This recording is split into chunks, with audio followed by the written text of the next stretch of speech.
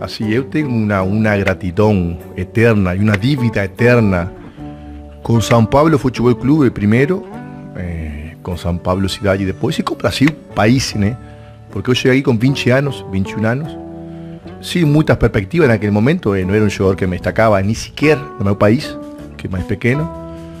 E realmente São Paulo me, me, me transformou, me convirtió em um jogador muito mais valorizado, em um cidadão muito mais preparado. De São Paulo eu fui a Uruguaia, fiquei 10 anos como capitão do Uruguai. Desde São, porque eu jogava em São Paulo, não porque eu cresci no Uruguai como um jogador importante.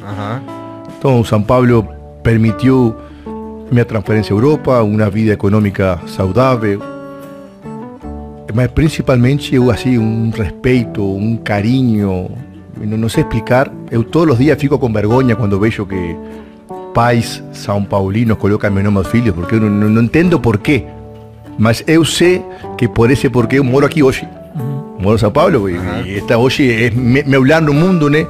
Porque permanentemente até hoje é um respeito que não, não, não, eu não consigo dimensionar, não consigo entender, não fiz tanto para merecer isso, mas óbvio que, que curto, disfruto, bueno, pues no show, né? Sem acreditar, mas disfruto, né?